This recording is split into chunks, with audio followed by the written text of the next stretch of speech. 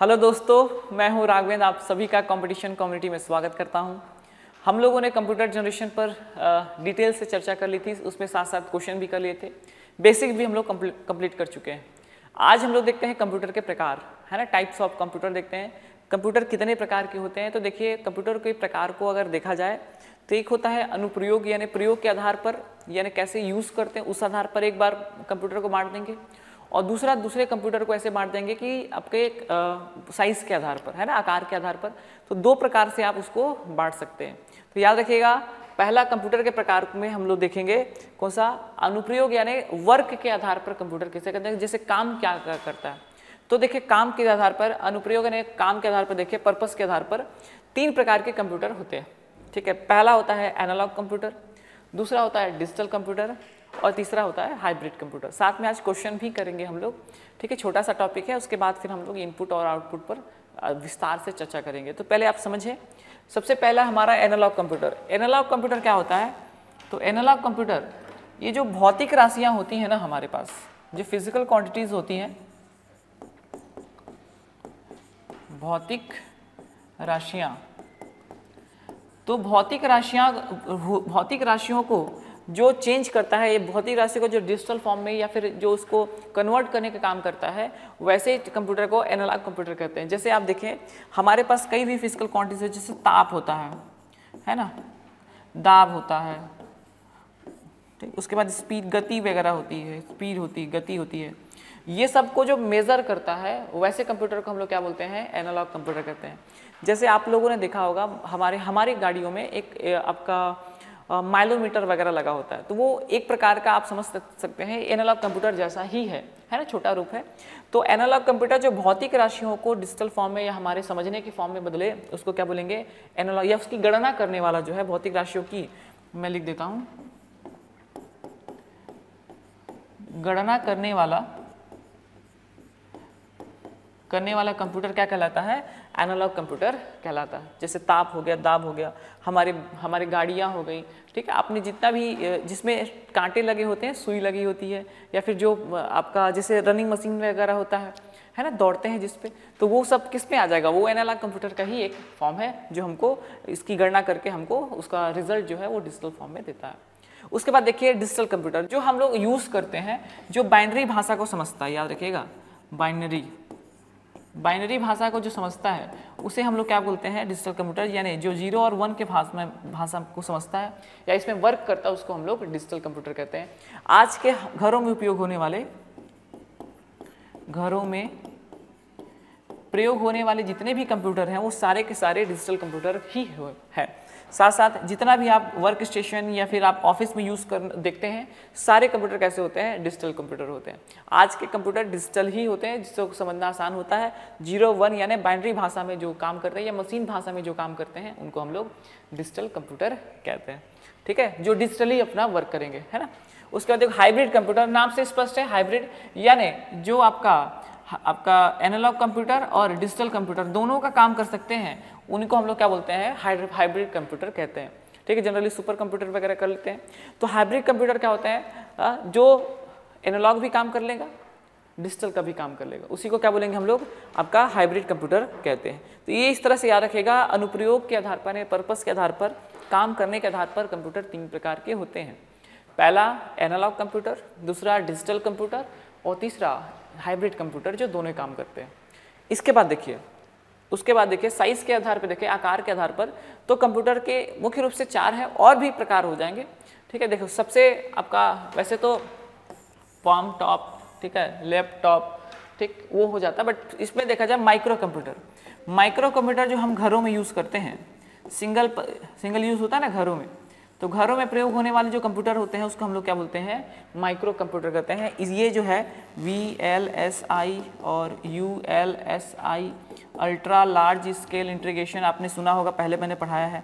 और very large scale integration ये सारे पे जो बेस्ड होते हैं, ये सारे कंप्यूटर क्या होते हैं? हमारे जो, ये सारे पीसी जो होते हैं, वो सब क्या होंगे? माइक्रो कंप्यूटर कहलाते हैं। है ना? याद रखना है। तो माइक्रो कंप्यूटर जो हमारे घरों के पीसी होते हैं वीएलएसआई होते हैं, यू होते हैं, ये सारे कंप्यूटर माइक्रो कंप्यूटर इससे भी छोटा जाओगे ना तो लैपटॉप आएगा, लैपटॉप, उसके और छोटा होगा तो पाम टॉप आएगा, पाम टॉप आएगा, ठीक, palmtop, sorry, palmtop आएगा।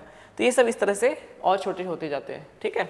ठीक है नोट पैड आएगा तो एक माइक्रो कंप्यूटर उससे थोड़ा सा बड़े हो जाएगा, कौन सा हो जाएगा? मिनी कंप्यूटर हो जाएगा। मिनी कंप्यूटर याद रखिएगा माइक्रो कंप्यूटर से बड़े होते हैं। माइक्रो से क्या होंगे?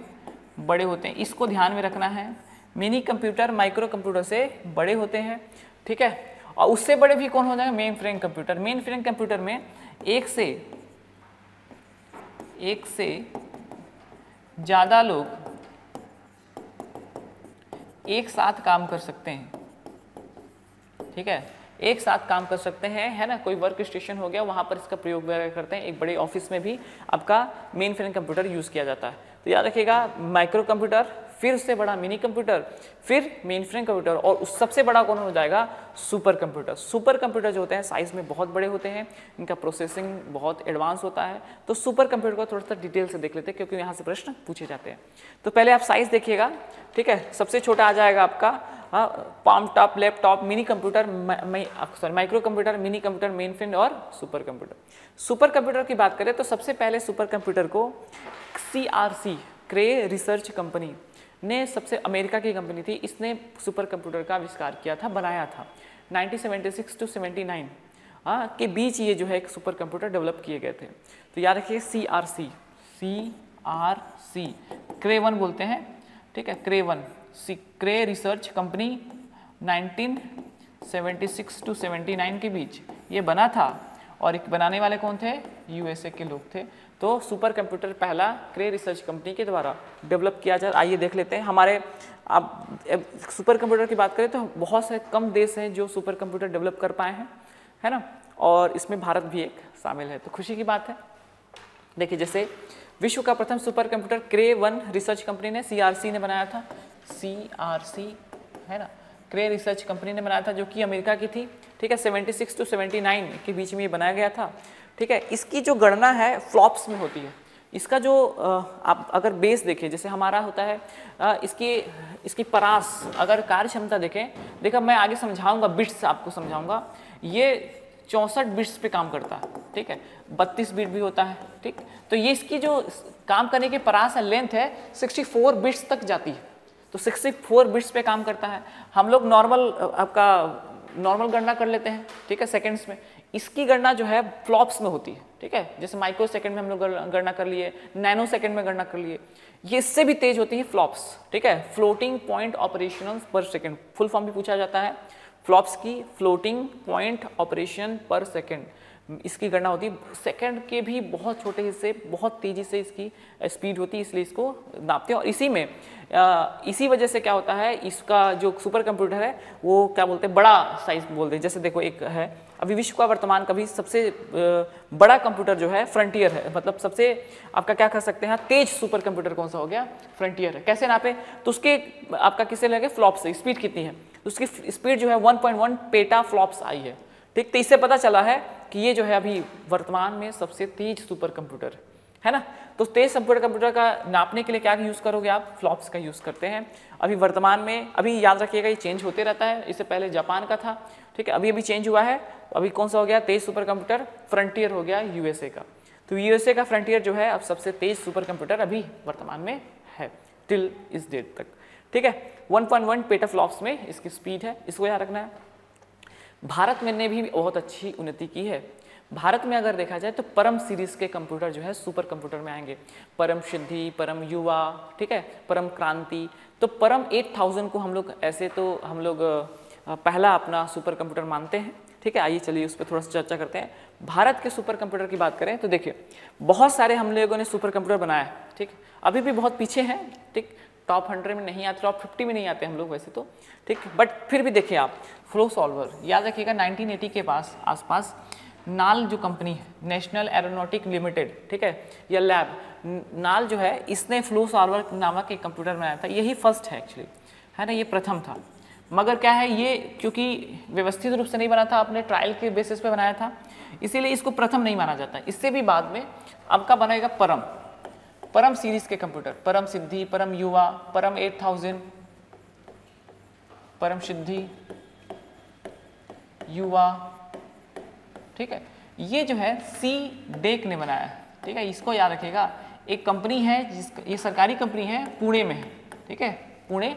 तो सी डेक ने क्या बनाया है? परम सीरीज़ के कंप्यूटर बनाया है। सीरीज़ जो है, परम, यू बहुत सारे हैं, परम 8000 है, परम 1000 है। तो C DAC centre for development of advance computing ठीक है? इसको याद रखिएगा, इसका फुल फॉर्म पूछा जाता है, क्या है? तो centre for development of advance computing जो है, ये पुणे में है संस्था।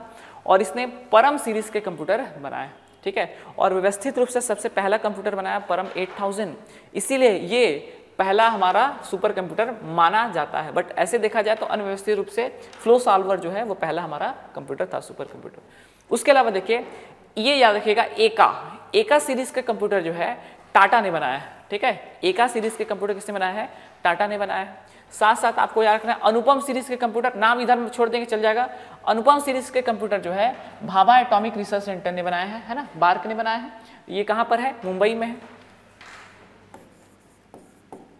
बार्क ने बनाया है, भाभा एटॉमिक रिसर्च सेंटर ने बनाया है।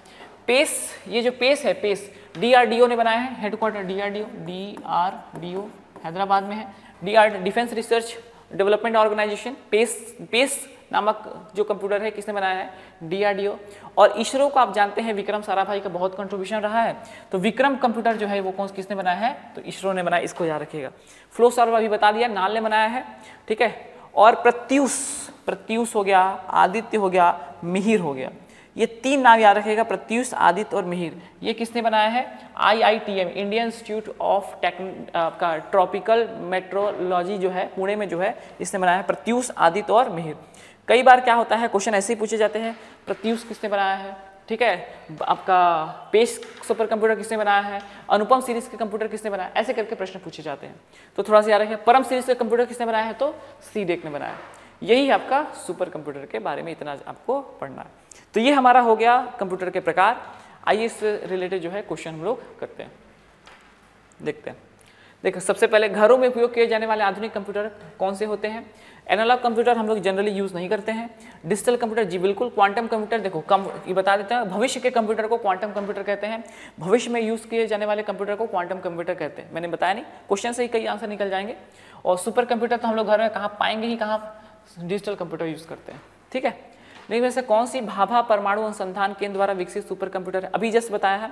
परम परम जो है, परम जो है, ये आपका किसका है? तो आपका सी डेक द्वारा है। चिप्स तो है ही नहीं। है ना? फ्लो सॉल्वर जो है, नाल ने बनाया है। कौन सा आ जाएगा? अनुपम सीरीज़ के जो कंप्यूटर है, वो किसने बनाया है?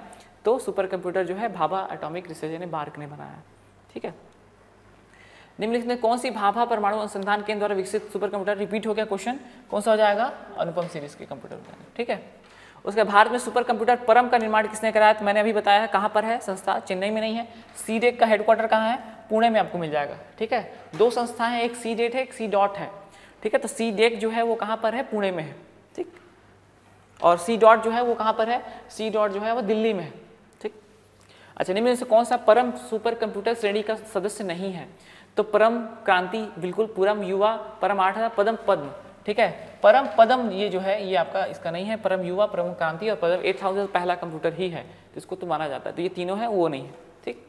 परम में बहुत सारे हैं सुपर कंप्यूटर की की गति किसमें नापते हैं तो बिल्कुल बता दिया था पहले बताते हैं फ्लॉप्स में floating floating point flop floating point operation per seconds में नापते हैं ठीक है उसके बाद विश्व के प्रथम सुपर कंप्यूटर का निर्माण किया गया था आईबीएम के द्वारा सीआरसी के द्वारा ठीक है आईबीएम इंटरनेशनल बिज़नेस मशीन इसके द्वारा तो नहीं किया गया था कि सी डेक के द्वारा सी डेक के द्वारा तो हमारा बना है सी आर सी याद रखिएगा सी के द्वारा किया गया। ये क्वेश्चन सारे आए हुए क्वेश्चन हैं तो ध्यान से बनाइएगा। इजी रहते हैं, एक बार आप टॉपिक पढ़ लेंगे छोटा छोटा टॉपिक्स रहते हैं, और उसके बाद क्वेश्चन बहुत आसानी से बन जाएँगे आपके।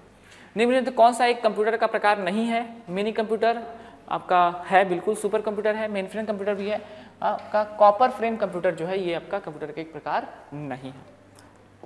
नेक्स्ट देखें सबसे कम जानने में आया कंप्यूटर कौन सा है? Supercomputer digital computer microcomputer analogue computer सबसे कम जो हम लोग कौन सा कंप्यूटर यूज़ करते हैं तो एनालॉग कंप्यूटर यूज़ करते हैं। इसमें से कौन कोई एक तेज और महँगा कंप्यूटर कौन सा है? तेज भी हो और महँगा भी हो, बिल्कुल जान नहीं रहे हो। पर्सनल कंप्यूटर तो नहीं होता उतना लैपटॉप भी ठीक है? सुपर कंप्यूटर नोटबुक सबसे जो है, आपका तेज भी होगा और महँगा भी होगा। हमारे घर घर की बस की बात नहीं है, घर के बरोबर हो जाएगा वो तो है ना? तो ये आपका इसको याद रखना है। निम्नलिखित में कौन सा एक सुपर कंप्यूटर नहीं है? याद रखिए देखिए सुपर कंप्यूटर के बहुत सारे नाम हैं। सेरिडिया है फ्रंटियर अभी बताए ताहिन है, है चाइना का है इससे पहले वो था तेज। रमन जो है ये अभी सुपर कंप्यूटर नहीं है है ना? रमन जो है उसका रमन प्रभाव अलग चीज़ है। वो किरणों पे आया था तो रमन सुपर कंप्यूटर से रिलेटेड नहीं है। ठीक है इनमें से कौन सा सबसे छोटा कंप्यूटर है? Notebook desktop laptop work station देखिए वर्क स्टेशन बड़ा होता है ठीक है? डेस्कटॉप पीसी वाला हो गया।